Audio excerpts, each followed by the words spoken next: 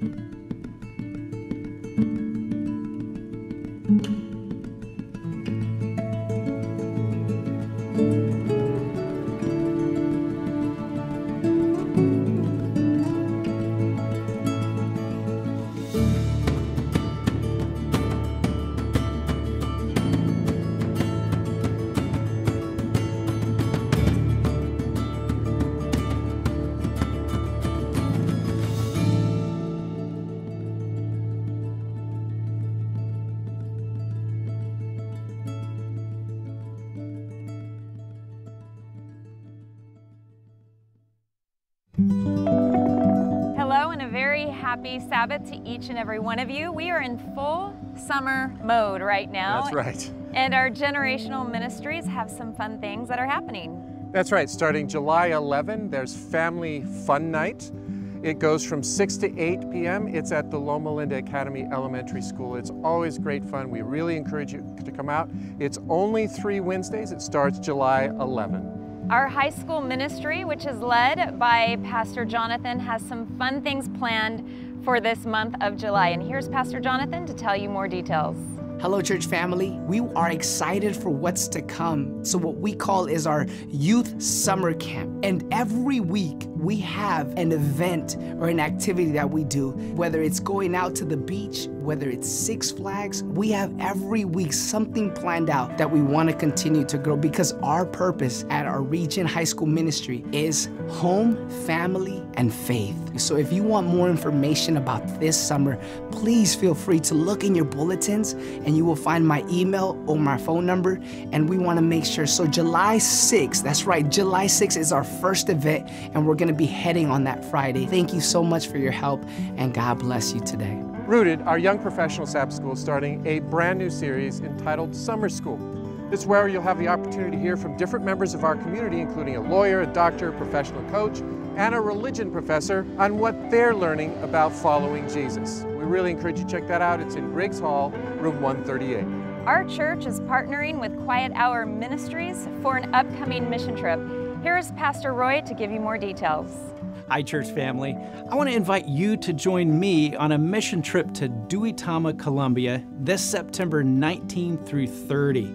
Now, this is a magical place that just three years ago, an incredible story took place because people like you went to Duitama to do mission work, and I want you to find out more about it.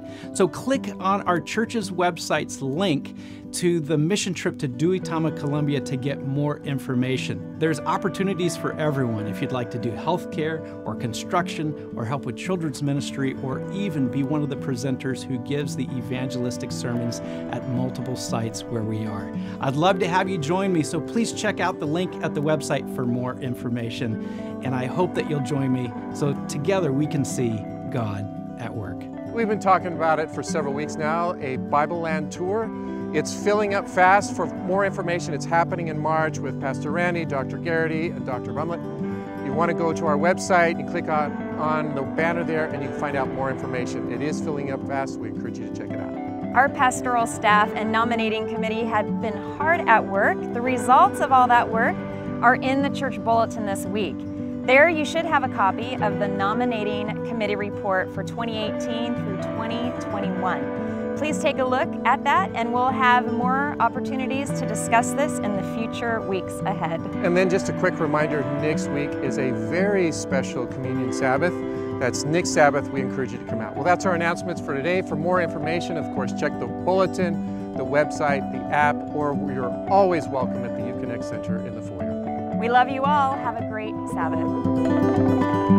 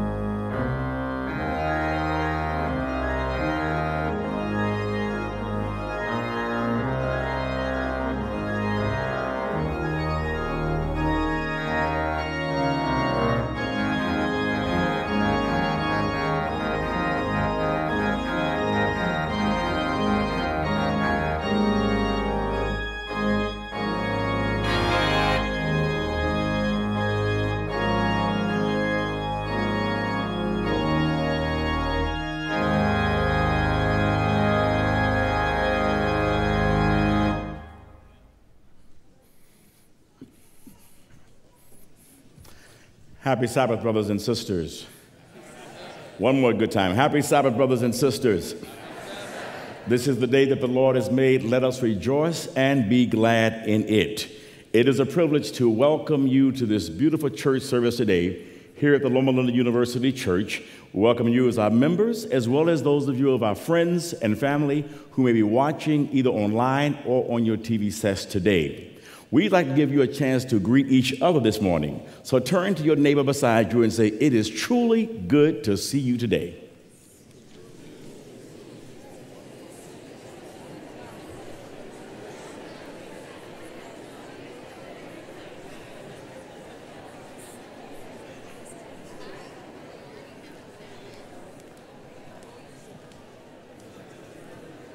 I love this. Love hearing you greeting each other. Love seeing you here. Pastor Adrian, thank you so much. It's my privilege to be here on the platform this morning with the Leukert family. This is Christian Leukert. I'm going to have him introduce his family in just one moment. But you recognize the Leukerts, no doubt, with, from their work with our children's choirs. Junior choir on Christian's part, cherub choir on Amy's part, and the wonderful experience that we have in worship whenever they sing. Well, it's my privilege to announce to you that Christian is the most recent member of our pastoral team. He is coming on in a role for music and worship. Amen. Now, let me explain just a moment what that's about. The reality is that we have a wonderful music staff already in place. But they all have employment elsewhere besides Loma Linda University Church. And we have long needed a full time person who sits with us on the staff to administer and guide the team, to help us in our worship planning, and many other duties and details. In fact, over the last mm, almost year now, Pastor Marvin Ponder has been working with us in that capacity on an interim basis. Well, starting Tomorrow morning, starting July 1, Christian joins us full time, and we're just delighted to have him. He's coming from Loma Linda Academy, from working there in the music department. So let me start, Christian, having you introduce Amy and the girls. Sure. This is my amazing wife, Amy, and uh, she works at La Sierra University, uh, the Center for Research in Adventist Education, run through the uh, School of School of Ed there, and she's the associate director. And then these are my two sweet girls. This is Liana and this is Kaylee, a giant fourth grader and second grader next year at Loma Linda Academy. But for now, we're enjoying summer festivities and it's a bit more boisterous around home. So, well, we're delighted to have each of you here with us. We're also so pleased that Christian is going to be worship, uh, working with us in the area of worship ministry. So tell us a little bit about what excites you, Christian, about coming to Loma Linda University Church.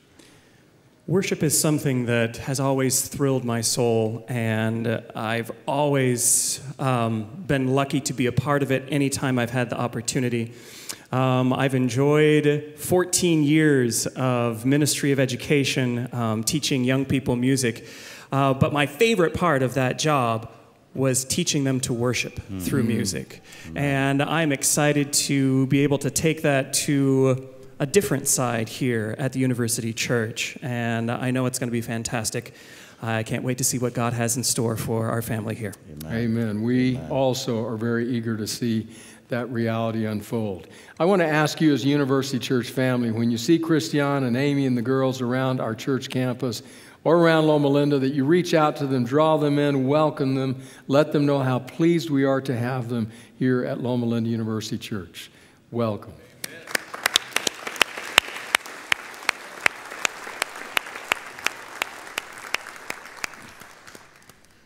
Brothers and sisters, God has graciously allowed us to come into His presence today. It is my prayer that today we will find the courage to become vessels of God's grace, His love, and His mercy. Welcome to worship.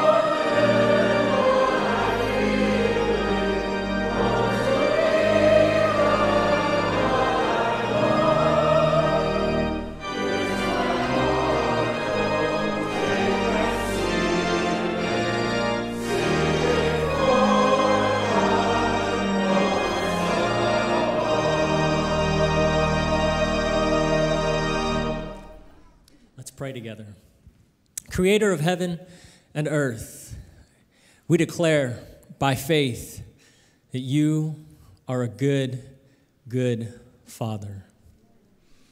Uh, in a world that's filled with turmoil and darkness and evil, you yet remain good. And even as we look inward and see the darkness within us, you are faithful to your promise to work all things together for the good of them that are loved and called according to your purpose. This morning, Lord, we confess that we are prone to wander, to leave the God that we love. And yet, though our sins were great, Jesus is greater.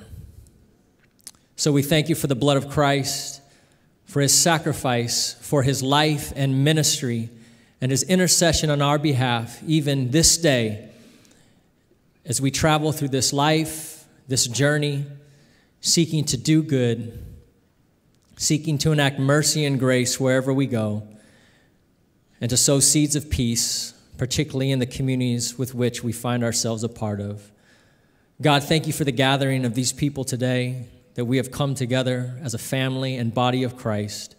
Might you grant us the courage to actually believe the things that we say we believe. Might you give us the courage to act upon those things which we believe, that with conviction and with passion, we might live the life of faith as light and salt throughout the earth. In the name of Jesus, amen.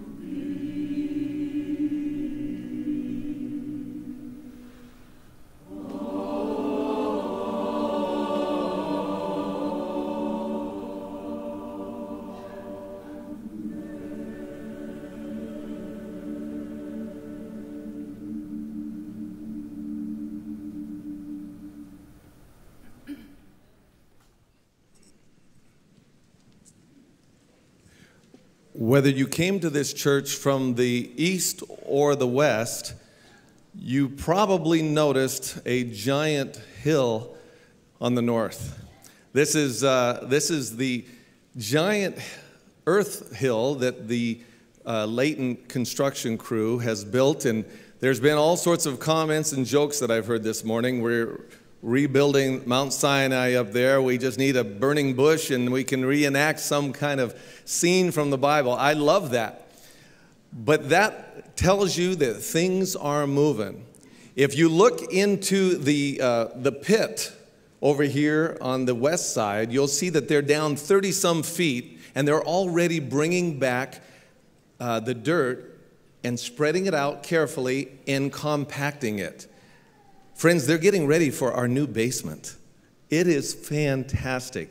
A new basement where we will have, for the first time, I believe, in the history of this church, an adequate home for our world class media department. Can I get an amen? They'll have studios there, they'll have office space, and they'll be able to run this first class media department with a new home. Also, for the first time, we'll have our maintenance department. Their campus is getting so big, and they've been working out of tiny closets. It's been that way ever since I've been here, which is quite a while. I look forward to them to have their own home. And friends, We have always taken our young adults and had them somewhere else that could accommodate them. For the first time, we're going to bring them back on our campus and have office space, a cafe, and a giant meeting room on the main level. Can I get an amen? Our young adults will be served by this family ministry building. That's only three of nine to ten departments that I know that will be transformed. This building will transform the life of this church, and we appreciate you becoming a stakeholder. Friends, if you haven't become a stakeholder and started to give, to be a part of this, please we entreat you to give so that you can say, I helped build that. Thank you, Pastor Doug. Happy Sabbath and good morning. So, while we enjoy uh, coming up here and sharing information and progress with you, and it is a necessity, we understand that there just simply isn't enough time for us to truly convey everything that is happening. This also leaves questions. A lot of people have questions, and we want those questions to be answered. So, Greater Wisdom has determined that what we're going to do a couple times a year is we're going to have a building information session. Our first one is going to be August 1st. That's a Wednesday evening, right here in the sanctuary at 6 o'clock. We desire that everybody would make it a point to be here. This, this is God's house, but it is our church. And we want everybody to feel connected and involved. So, whether you're a current stakeholder or you're thinking about becoming a stakeholder, we ask you to please be present, ask questions, seek information, so that you would partner with us as we go down this road and create this ministry building to move God's work forward. Friends, summer is usually a time where our giving dips, but we just had the most wonderful Ju- uh, month of July, I mean, month of June. The most wonderful month of June. Giving was up, and we look forward to giving steadily increasing over the months. Thank you so much. You're on a winning team. God has ordained what we're doing here. He's opened too many doors too much support has come in to think otherwise. We are very excited about how this will change our lives. Did you realize they're estimating fall of next year to be complete? Amen. And it's going to change our lives because, after all, we, we build, build for His, for his kingdom. kingdom.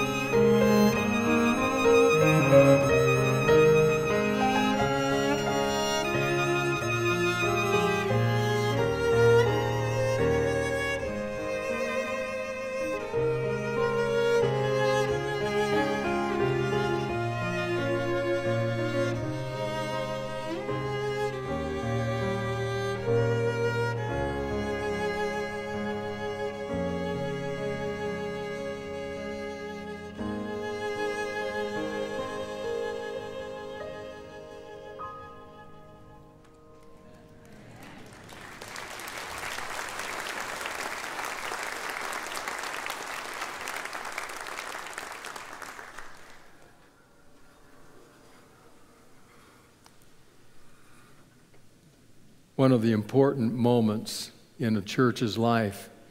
In fact, one of the sacred acts of the church's life is the act of baptism.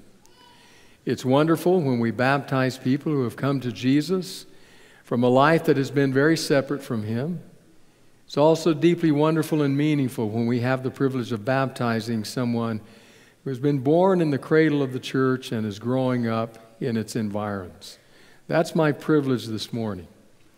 I am so pleased to introduce you to Ethan Evans No. Ethan is going to be in sixth grade this coming year down at Loma Linda Academy. Ethan comes from a family that is a central and integral part and has been for many, many years of the Loma Linda University Church. Ethan, I've had the privilege of watching you grow from a tiny little one all the way up to where you are today. In fact, a few years ago, we were down a little further on the platform for a child dedication.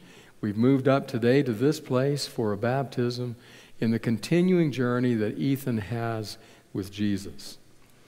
I want to invite Ethan's family as well as his friends to stand at this time to show your support for and your recognition of his baptism. Yes, please, if you would stand.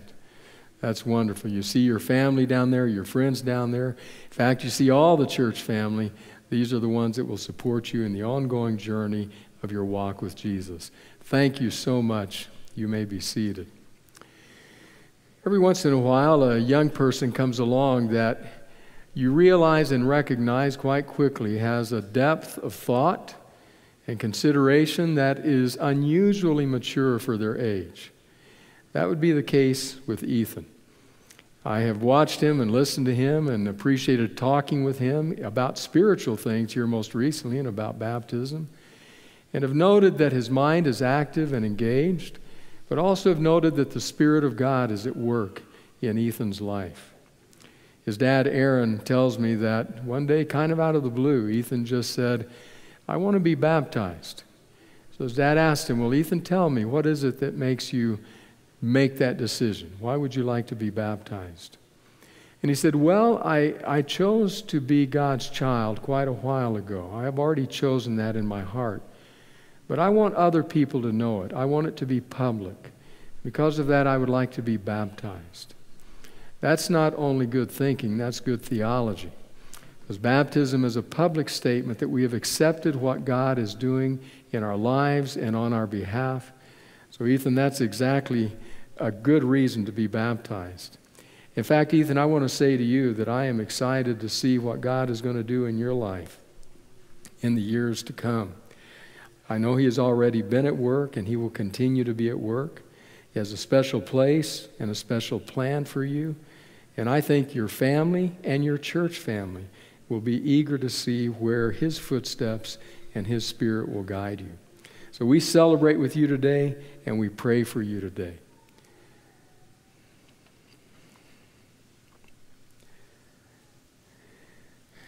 Ethan, God the Father, has loved you with an everlasting love. Jesus, his Son, came to draw you to himself, to win you back into a relationship with God. And the Holy Spirit has been active in your life now and will continue to be. And because you have chosen in your young heart to accept God's action on your behalf, it's my privilege as a minister of the gospel and as a friend to baptize you in the name of the Father and of the Son and of the Holy Spirit. Buried with him in baptism, raised to walk in newness of life.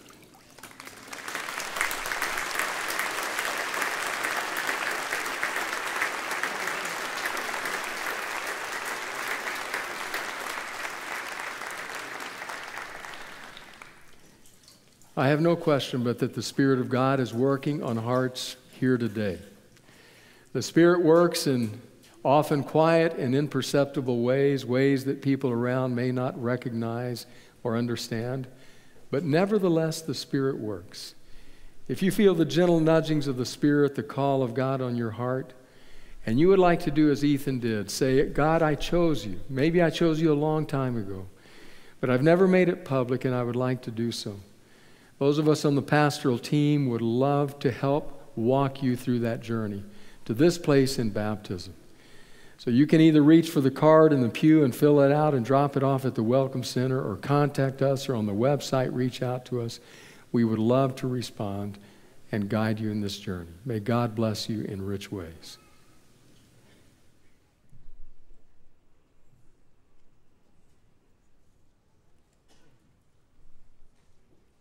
That just warm your heart?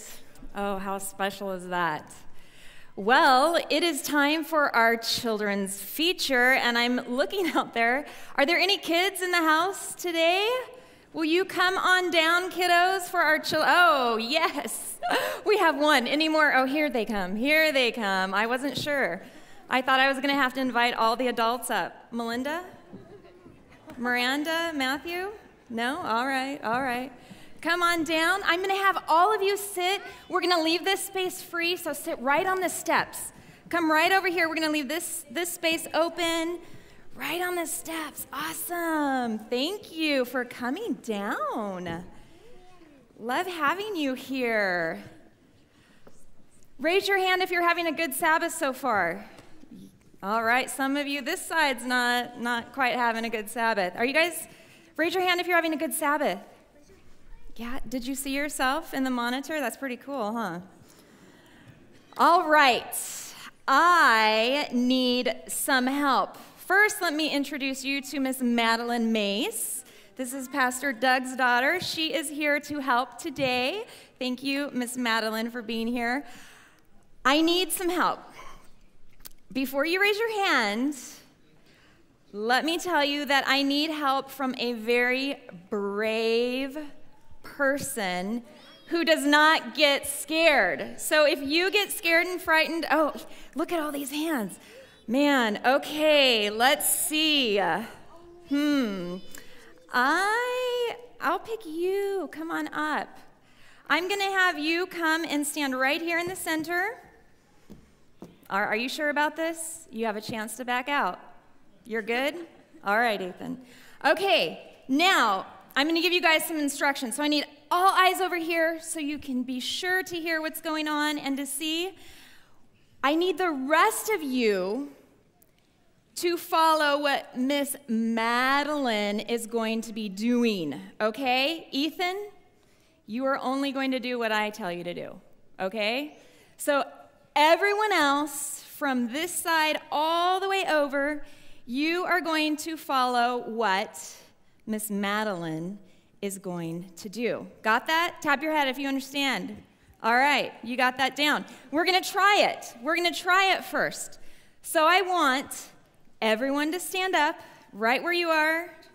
Stand up right where you are. Okay, we're going to try this. Now remember, are you watching and doing what I say? No. No, everyone is watching who? Miss Madeline. Okay, here we go. Let's see if you guys can do this. Go ahead. All right. I want everyone to turn to their right. All right. Ethan, I want you to turn that way. I want everyone to turn to their left. All right. Ethan, I want you to turn right. I want everyone to face the choir. All right, Ethan, I want you, oh, you're pretty much, I want you to face everyone and wave. or, or um, don't wave. I want everyone to turn and face your parents. All right, Ethan, I want you to turn and face the choir. All right, I want everyone to sit down. Okay, Ethan, I want you to turn around and face me. And I want you to take this. Can you start singing Jesus Loves Me into the mic? Jesus loves me, this I know, for the Bible tells me so. Little ones to him below, they are weak, but he is strong. That's good. Yeah. Nice. All right, thank you. You can go ahead and sit down.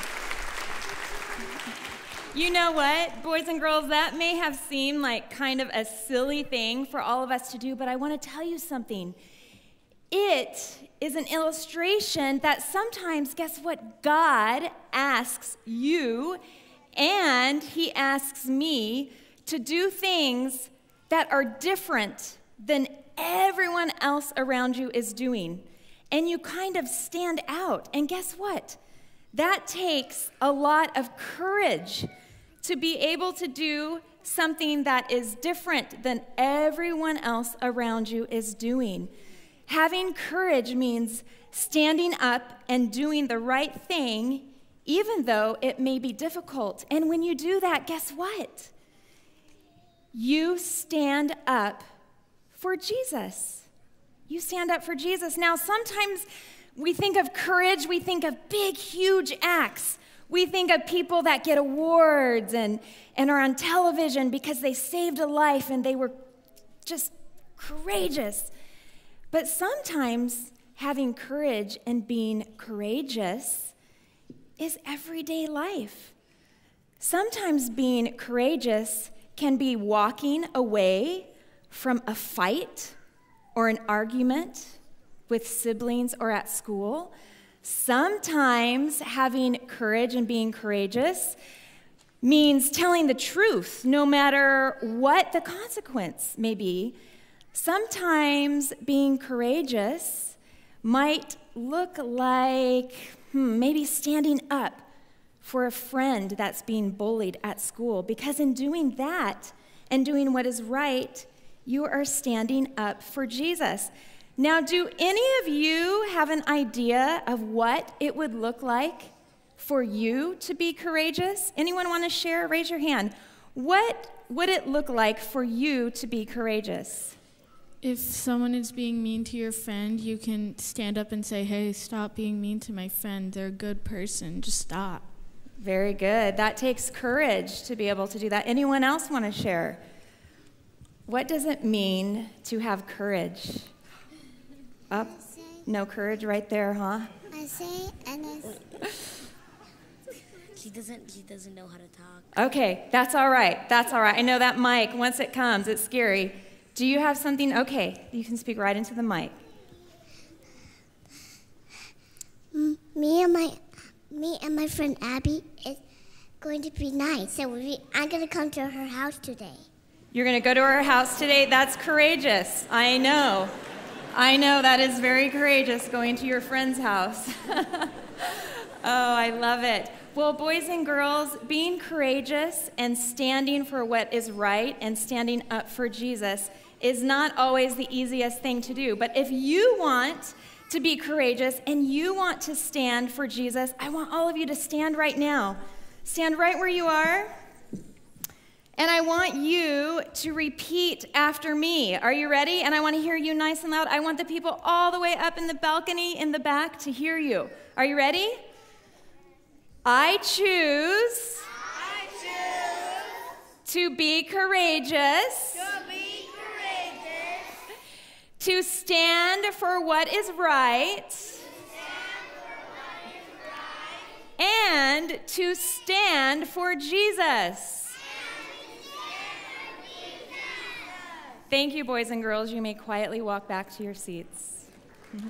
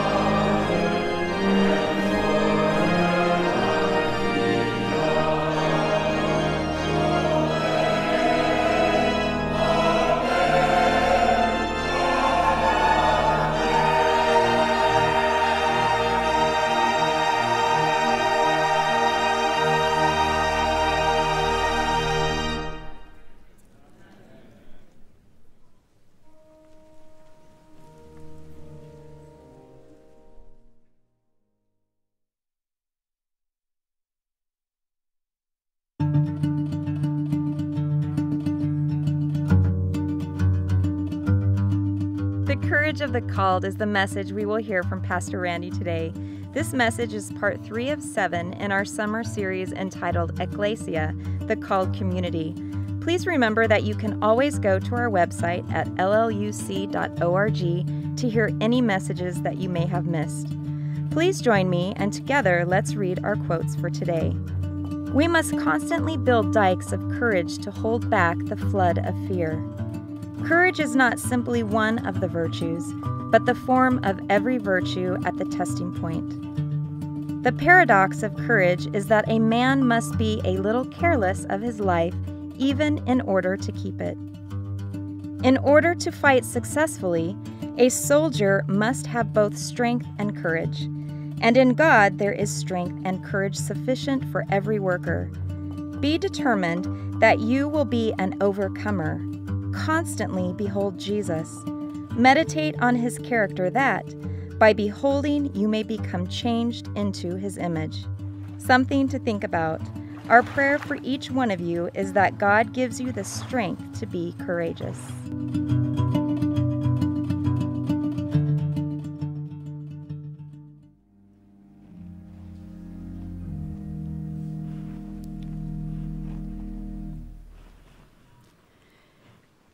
The scripture reading today is from Acts 4 5 through 13, and I am reading from today's New International Version.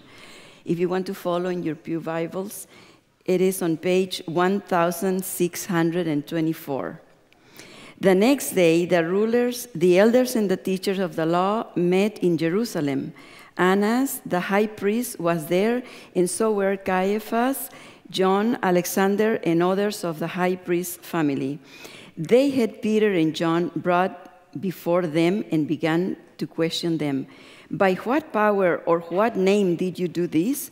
Then Peter, filled with the Holy Spirit, said to them, Rulers and elders of the people, if we are being called to account today for an act of kindness shown to a man who was lame and are being asked how he was healed, then know this, you and all the people of Israel. It is by the name of Jesus Christ of Nazareth, whom you crucified, but whom God raised from the dead, that this man stands before you healed. Jesus is the stone you builders rejected, which has come the cornerstone. Salvation is found in no one else for there is no other name under heaven by which we must be saved.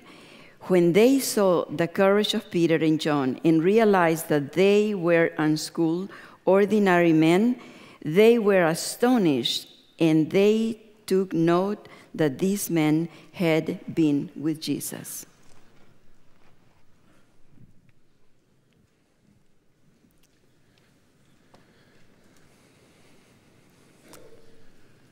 Courage. Someone said that courage is when you're the only one who knows that you're afraid. Courage is the attribute I think of, the word I think of when I see three pictures. I want to show them to you one at a time and see if you don't agree with me that maybe the best word to capture what happened in the story behind the picture is the word courage. The first picture. The first picture is from Tiananmen Square back in 1989 when there were events happening in the country of China where people were protesting, pro democracy protests. The government was striking down in rather strong fashion until it came to this moment in Tiananmen Square when a phalanx of tanks rolled into the square intent on putting a stop to this once and for all. It was then that a man, one man, one lone man, we don't even know his name, he's often been referred to as Tank Man, strode to the front of the phalanx of tanks and stood there as though challenging that power, and the tanks ground to a stop.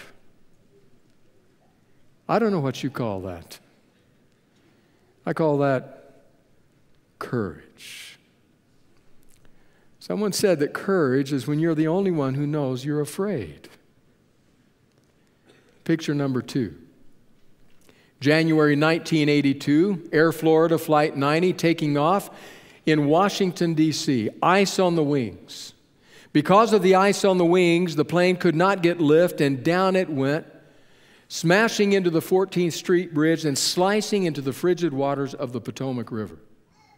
70 of the 74 passengers on board died. Four of the crew perished. Four people on the bridge died, but there were a few survivors, just a few, clinging to pieces of the aircraft in the freezing river on a time clock because of hypothermia. Helicopter came in, dropped a lifeline. A man grabbed it, handed it to someone else. Came back, a lifeline, handed it to someone else. When they finally returned to take him, he had slipped into the waters of the river and succumbed to death by drowning. It wasn't until later that they determined that his name was Arland D. Williams, for which the bridge is now named. I don't know. I don't know what word you would assign to that. But the word I would use for that is courage. Someone said that courage is when you're the only one who knows you're afraid. Picture number three. Three friends, three young friends, American friends in Europe on vacation, enjoying a high speed train ride from Paris to Amsterdam.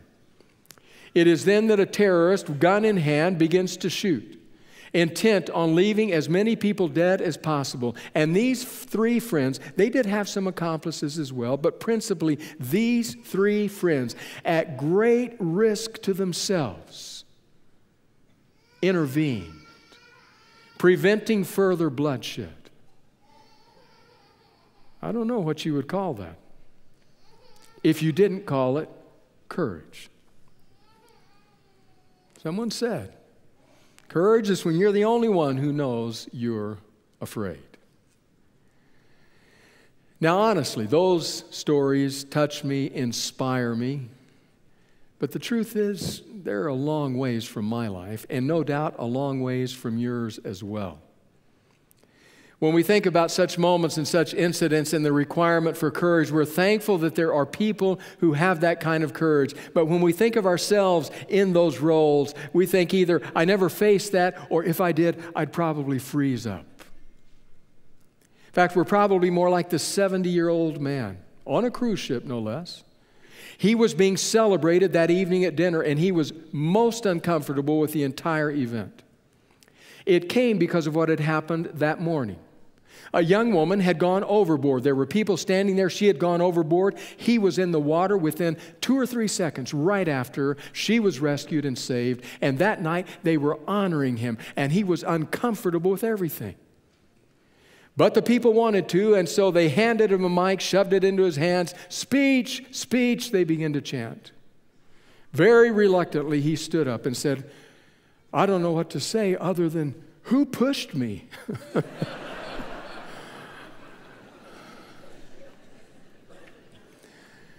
Maybe we feel more like Him than them. That matches more who we are, we say. We're just common, ordinary folk. What need do we have for courage? Even in our spiritual lives. We can read this book, especially the New Testament, we can read the history of the Christian church and find that the Christ followers over the centuries and millennia have been people of courage. In fact, if you ever doubt that, just take a book down off the shelf called Fox's Book of Martyrs and peruse the pages, consider the stories, and you will realize that that great cloud of witnesses spoken of in Hebrews has gotten even more crowded because of those who have stood with courage after the closing of the canon.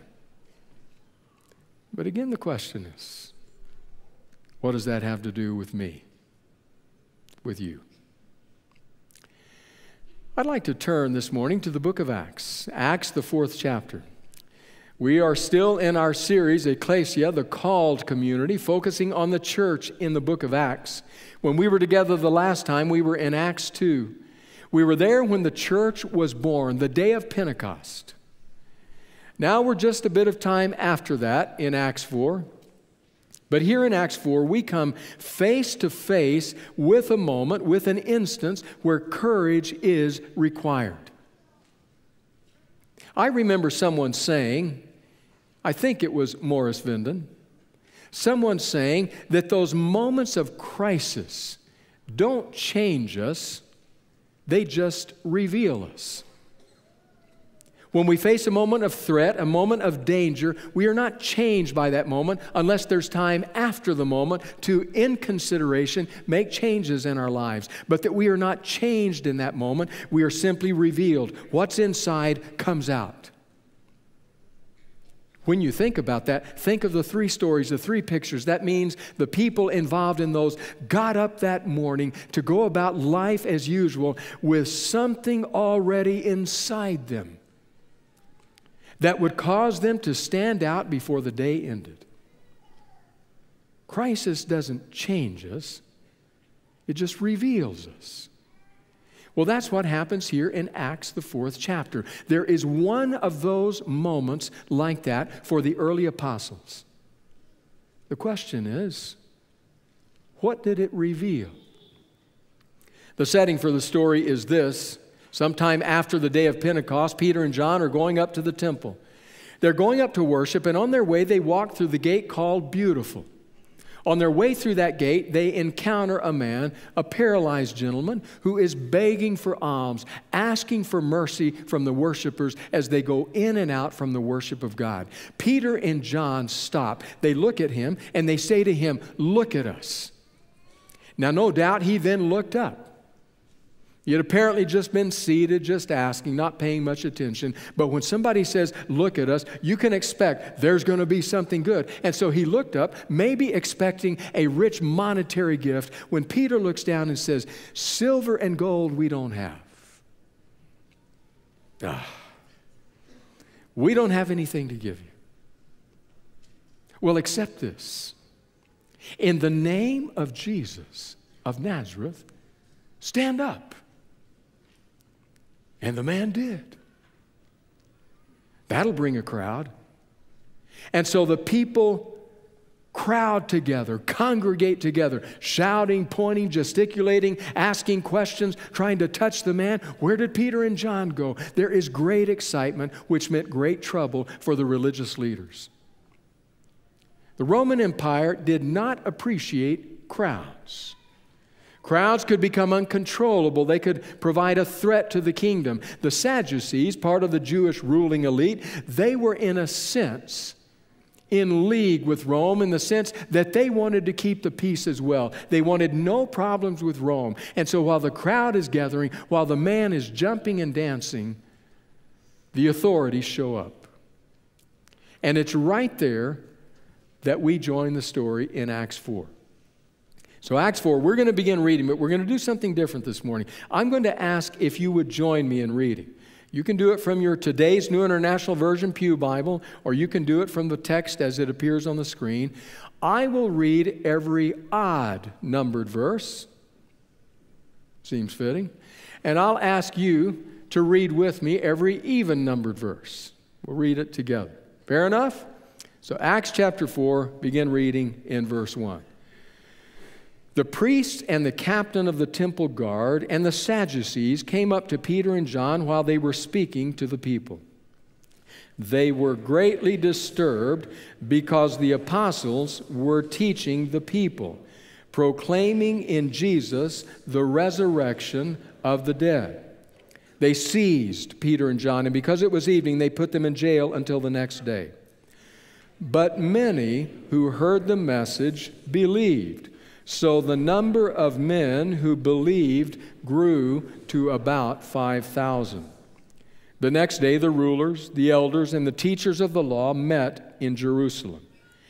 Annas, the high priest, was there, and so were Caiaphas, John, Alexander, and others of the high priest's family.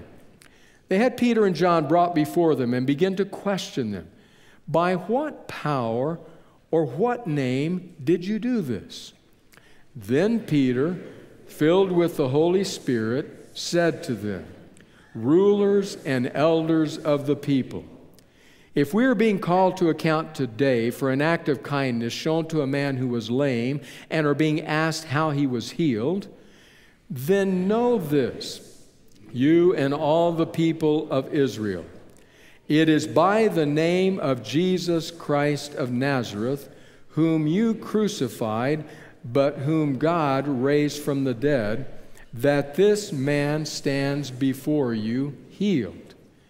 Jesus is the stone you builders rejected, which has become the cornerstone.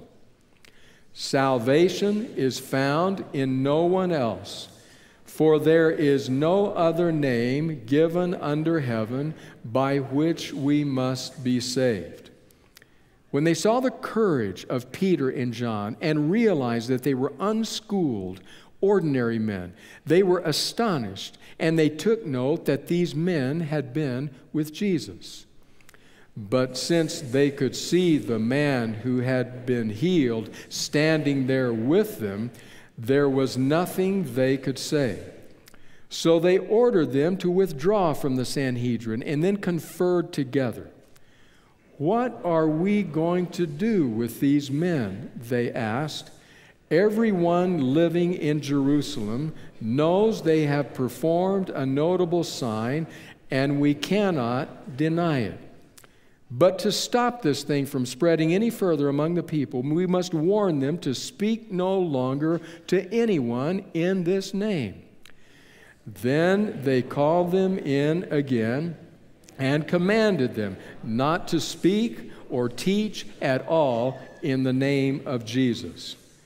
But Peter and John replied, Which is right in God's eyes? To listen to you or to him? You be the judges.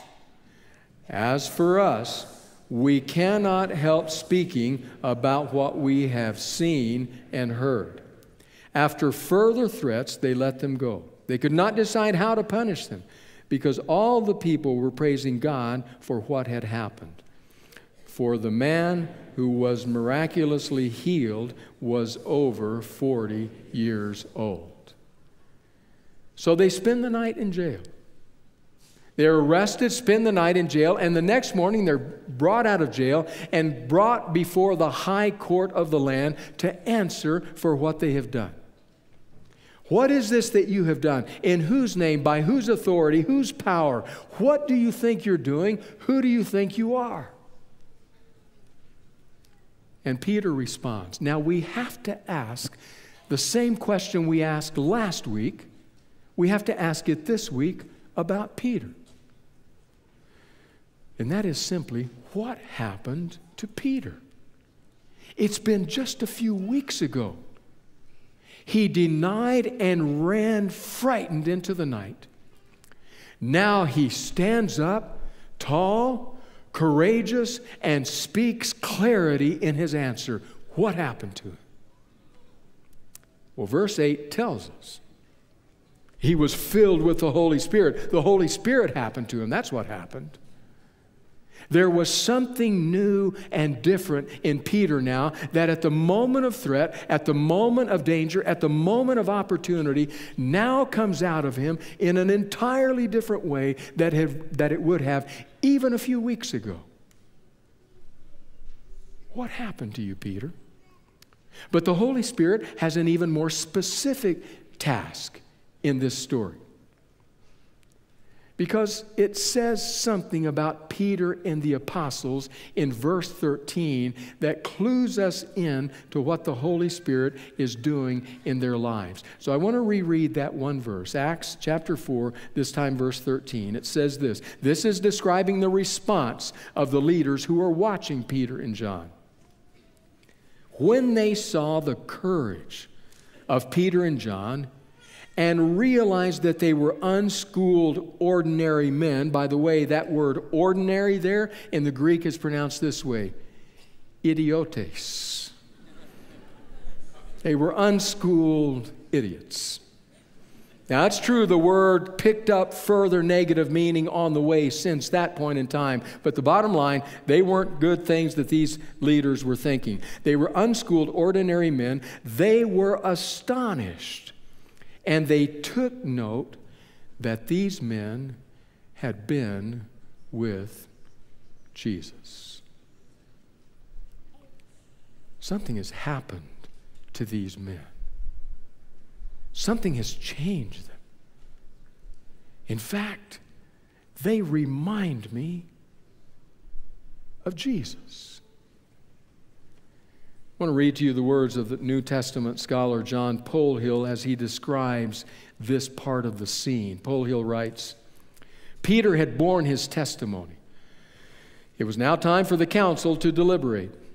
They assessed the evidence. First, there was the courage, the sheer freedom with which Peter spoke. They hardly expected this from men who had no formal education in matters of the law, who were ordinary laymen. Then there was the fact that they had been with Jesus. He too had been just a commoner, but also with an amazing boldness and knowledge beyond his training. But he too had been a dangerous person, a threat to their peace, and they consequently had condemned him to death. Finally, there was the healed man standing with them before the tribunal.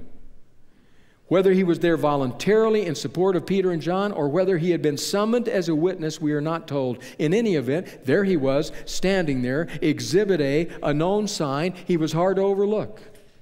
It was hardly a clear cut case. The council sat in silence. At this point, there was nothing they could say. The irony can scarcely be missed. The accused spoke with utter boldness and freedom. Their accusers set in stony silence. What are you going to say? There's the man. Well, I'll tell you what they said. They said, It's evident that these two have been with Jesus. They've been with him. Well, of course, they've been with him. They've been with him throughout his ministry. They've watched him. They've listened to him. They've followed in his footsteps. They have learned his lessons. They have been transformed by his teachings. They have become increasingly like him. But then he had left them, but not without leaving the promise I will send the Spirit, the Comforter. He will magnify me in your lives and will guide you. And so now, though Jesus physically was not present, the Holy Spirit's presence in their lives was guiding them in their journey with Jesus, slowly but certainly transforming them into His image. They're conferring together and saying, These people have been with Jesus. New Testament scholar David Williams says this Indeed, it may have been the council's recollection of Jesus that lay behind the comment, they took note that these men had been with Jesus. We cannot think that they only now discovered that Peter and John were Jesus' disciples. They must have known this much at least about them, but now it was borne in upon them how like Jesus they were. When Pilate had condemned Jesus, they had thought that they had heard the last of him. Why else put him to death? But they had reckoned without the power of the Spirit, and in these spirit filled men, Jesus, in a sense, stood before them again. Would they never be rid of him? He's back, and he's back in the presence of these followers because the Holy Spirit has been at work. They've been with Jesus. So when the moment of crisis comes, what is now within them emerges. And what emerges is courage. No longer frightened rabbits fleeing into the night. Now, men of courage standing tall. Because crisis doesn't change you, it reveals you.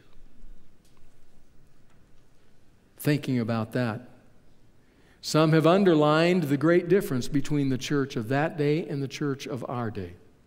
In fact, N.T. Wright, the great British scholar and theologian, says, I've taken note of the bishop here in our land in the UK who said this of the difference between the church then and the church now. He said, This bishop says, when Paul showed up, there were riots. When I show up, they serve tea. Quite a difference. So, where does that leave us? After all, the pictures we showed, you say, that's not my life. Even this through which the apostles passed, that's not my life. So, what should I do in response to this? I want to make two suggestions, very simple. Two suggestions. First one, pray for the Holy Spirit. Pray for the Holy Spirit to enter your heart and life in a way the Spirit has not been given permission before. Pray that the Spirit will baptize your heart and your soul and your mind, will saturate your person, your experience, your life. Pray that what is within you that will come out in a moment of crisis is the Holy Spirit. Pray for the Spirit. And secondly, pray for courage. Pray for courage. Pray, God, so work into me in my own life and experience the reality of your Holy Spirit that when a moment comes where courage is required, that your Holy Spirit will have kneaded enough of that into the dough of my life that courage is what will emerge. Pray for the Spirit. Pray for courage. But still, you may say, but I don't know. In my life, I'm so ordinary, so mundane. There's nothing big, nothing grand. I'll never face those kinds of moments. Then start small. I want to read to you two pieces, short ones, but pieces. One from a woman, one from a man. One through a woman's eyes, one through a man's eyes, about whether or not you need courage only in the great or also in the small. The first are the words of the poet Maya Angelou, who said this. She had been asked what were the important lessons she had learned from her mother, and she responded, I would say she encouraged me to develop courage. And she taught me by being courageous herself. And years later, I realized that one isn't born with courage, one develops it. And you develop it by doing small, courageous things in the same way that one wouldn't set out to pick up a 100 pound bag of rice. If that was one's aim, the person would be advised to pick up a 5 pound bag, and then a 10 pound, and then a 20 pound, and so forth, until one builds up enough muscle to actually pick up 100 pounds. And that's the same way with courage. You develop courage by doing courageous things, small things, but things that cost you some exertion, mental and I suppose spiritual exertion. Pray for the Spirit. Pray for courage. God of grace, don't let me just wait for the great event that may never come. Let me begin with what's right in front of me the courageous choice that needs to be made now in the small thing. Somebody stopped me after first service and said, In today's climate, we actually might need the opposite of what the bishop in England said. Maybe what we need to say is when a riot breaks out, we serve tea to bring people together. An act of reconciliation, an act of courage. That's the woman's voice. Now, the man's voice. Author Mike Erre, who said this writing to men, speaking to men, and speaking about Hollywood. He says, The problem with looking to Hollywood for the image of masculinity, even those true to life stories of courage, is that it feeds my desire for glory. Courage isn't only in the big accomplishments, it's in the small acts too. When I leave the theater and scratch the car door next to me getting into my car, my decisions about whether or not to leave a note admitting my mistake isn't glorious. Nobody will make a movie about my choice. I can hide if I choose to. But situations like this shape our courage and virtue. Or imagine leaving the theater and returning home to a wife who is sexually unresponsive, or perpetually angry, or domineering, or unkempt. The temptation to find release and fulfillment elsewhere can be overwhelming. Escape promises what reality can't provide. Our response in that moment can be just as courageous as what we do when we decide to protect a fallen pilot or storm a cockpit. Courage is visiting our moms and dads and caring for them as they grow older instead of abandoning them to others' care. Courage is integrity in business when no one else sees it, or keeping my promise when I'd rather do anything else. Hollywood doesn't make movies about this true masculine courage. It's not just in the big moments, as valid as those may be.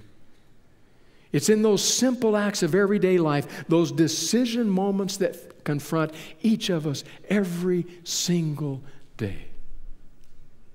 Will I have the courage to reach across the aisle to somebody who sees the political world very differently than I do and extend a hand of reconciliation and peace? Courage. If you're a child here, will you have the courage to come to the aid of the child being bullied on the playground? You're an adult when you sit down in a busy restaurant, crowded eatery Will you have the courage to bow your head in prayer? It depends on what's going on inside of you. Because those moments of decision, those moments of potential threat of some kind, don't change you, they just reveal you. For the disciples, it was revealed that they had been with Jesus. Philip Hallie was an articulate man, bright man studied scholar, keen intellect, trained at Oxford and Harvard, Rhodes Scholar. He had also served in World War II in the U.S. Armed Forces, and it was probably the bringing together of those two realities that left him with questions about a tiny hamlet in the country of France in World War II. Le Chambon. There in Le Chambon, he realized, understood, I don't know how, from reading, research, or study, he understood that the citizens of that little village had done something dramatically differently than the ones all around them in countless other places in France and Europe at the time. They had come to the aid, to the rescue of the Jewish people around and among them, at great threat and danger to themselves. And so Hallie wanted to understand why, wanted to know why. The researcher's mind and intellect, he traveled to France, traveled to that little hamlet, and expected to find, well, heroes, larger than life, courageous, firm and strong, backbones of steel, set apart from their neighbors. He found quite the opposite. What he discovered when he got there was ordinary people. People that looked like everyone else. People that lived like everyone else. Just ordinary people. And so he began to ask questions, question after question, person after person, about what their lives were like, what they did, what form their thinking, why they had done what they had done in World War II. After all of his questions, this is the conclusion he reached. The people of Le Chambon, of that little town, he decided, acted differently because week in and week out, consistently, they gathered for worship. And their pastor in worship talked to them about the life of Jesus told them what Jesus was like, told them what Jesus did, spoke to them about the ethic of Jesus, told them that when Jesus said, Love your neighbor, that included the Jewish people. Told them, we don't get to choose our neighbor. And if we belong to Jesus, this is what he said to do. He was talking to one elderly woman who said, When the Nazi guards show up, I faked a heart attack. She was afraid. But then she said, however, when it came to the Jewish people, we knew what to do. Because Pastor had told us week in and week out for a long time what Jesus thought, how Jesus felt, and he had said, one day Jesus will ask something of you, and then you will have to act. So she said, we knew exactly what we had to do. I can't tell you for sure, but I think, I think that Dr. Luke, who penned this book called Acts, I think if he were to be describing those people, he would say this The Holy Spirit was in them. And because of that, one could know that they had been with Jesus. I don't know what you will face this week. Some small opportunity, some potential threat, or some serious danger. I don't know. But I do know this when that moment comes for any of us, it's not going to change us, it's just going to reveal us. And so, my question is this When it's said and done, will people say of you and of me, they were with Jesus? I pray, I pray that that will be true.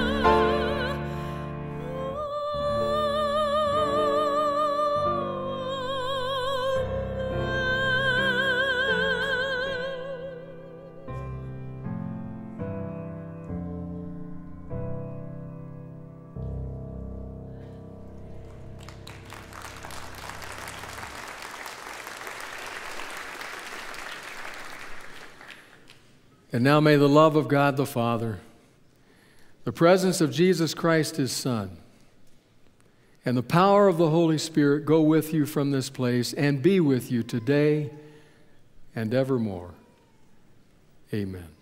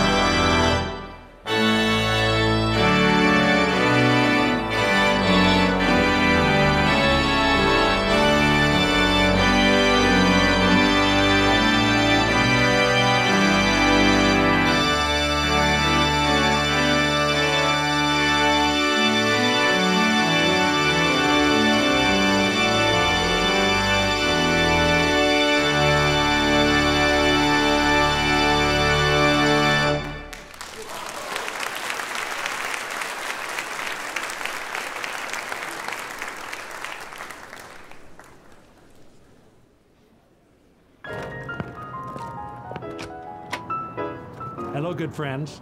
Glad to be with you again. And I am going to admit we do a little catching up. Hence, you're going to say, they have a birthday now? Well, they did very recently. And right at the top is Martha Messinger. I am so honored to be able to greet you, lady, and I got to see you last Sabbath, and now to wish you a very, very happy 91st birthday and to see you there with members of your family. Hello, Marvin and Beverly Peters. So glad to know it's your 85th birthday, Marvin, but your 61st wedding anniversary. And I'm here to extend warmest congratulations to you two. Leela Reike up at Oakhurst, California. So glad to be reminded of your birthday and wonderful things that happen in your life. There you are with your family. All the best, Leela Reich. Jeanette and Glenn Edgerton up in Fairview, Oregon. Yes, we're looking at these wonderful pictures of Jeanette, and for all we could do, we couldn't find a picture of you, Glenn, but I wish you a very happy 91st birthday while you two are marking your 71st wedding anniversary. Warmest congratulations to Jeanette and Glenn Edgerton. Richard and Patricia Morda, right here in Loma Linda. Hello, you two, and I'm glad to be reminded of your anniversary, and I'm here to wish you the very, very best. And now, folks, you listen up because we've got a very special friend we're about to introduce to you. She is Salma Moore, and this is her 100th birthday. And she's meeting there with children, grandchildren, great grandchildren. We are so proud of you, even as you're a Laker fan. No, it's a Dodger fan. God bless you. Hello, Caroline Retzer. Always glad to be where you are, and I'm glad that's pretty often. And now to get to say happy birthday, Carol Ann. Hello, Alice Cayley, over there in Centralia, Illinois. I wish we had a picture of you. We don't, but we're here to greet you. Happy birthday, Barbara and Les Stannard, right here in Loma Linda. And I'm so glad to get to see you two once in a while. And now to let everybody know you are marking your 74th wedding anniversary. Rosalind Ludwig Miller over there in Miamisburg, Ohio. So glad to wish you a happy birthday, lady. Bill Stone over there in Somerset, Kentucky. You and Vienna, we're always glad to be reminded. And now, Bill, it's your 81st birthday. Congratulations. Rafaela Walker, Brooklyn, New York, is marking her 103rd birthday. I think it is. Friends tell me we get to say happy birthday, Rafaela. Brian Hartnell, you are wonderful as a part of our media team and University Church and your friendship all around. So glad to say happy birthday, Brian Hartnell. Peggy Best, Atlanta, Georgia. So glad to be in touch with you, Peggy, and to know it's your birthday and to say happy, happy greetings to you, and to learn that your great granddaughter, Alana Johnson Jones, is three years old. Isn't she a doll? So glad to be in touch with you folks and to say happy birthday, Peggy and Alana. Hello, Trace and Julia. Yes, I remember when I got to stand up with you at your wedding and now your 13th anniversary. You two are darling, a blessing in my life, and those children of yours, they are absolutely the best. Happy anniversary, Trace and Julia. Robert and Cheryl Smith, marking your anniversary over there Wenatchee. And I'm so glad to be reminded of your birthdays and now your anniversary. Happy greetings to you too. Max Wood, do we go back a ways? Clear back to Laurelwood Academy, and now continue to have birthdays. Isn't it wonderful? Happy birthday, Max Wood. David McDonald, bless your heart. I'm glad to be reminded of your birthday, to see you there with your Sheila, and there you are, a wonderful presentation of some kind. I wish I could have been there to hear it. Happy, happy birthday, David McDonald. And a happy birthday to Molly Weaver. Hi, Molly. Always glad when I can see you. And there you are with your daughters, your granddaughters, and I say happy birthday, friend Molly. Hi, Maurice Brooks. It's so good to see you from time to time, and now to get to say happy birthday, Maurice. And glad to know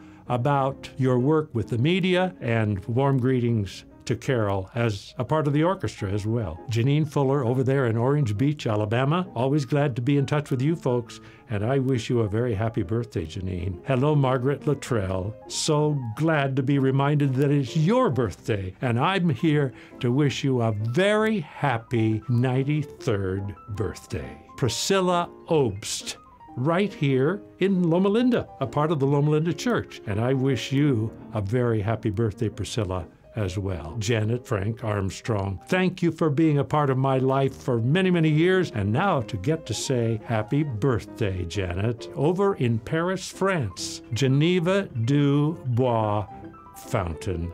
Happy birthday, lady and many, many more. Ann Maxwell, so good to be reminded of your birthday too. And I just had to let the folks see the kind of climate you live in in that beautiful, snowy environment. Happy birthday, Ann. And Verna Murphy over in Warren, Massachusetts, happy birthday to you too, lady, and many more. And finally, David Husso down Temecula Way. Happy birthday, David, and to get to see you there with your very special friends. Until next time, I'm Dan Matthews, and I'll be back.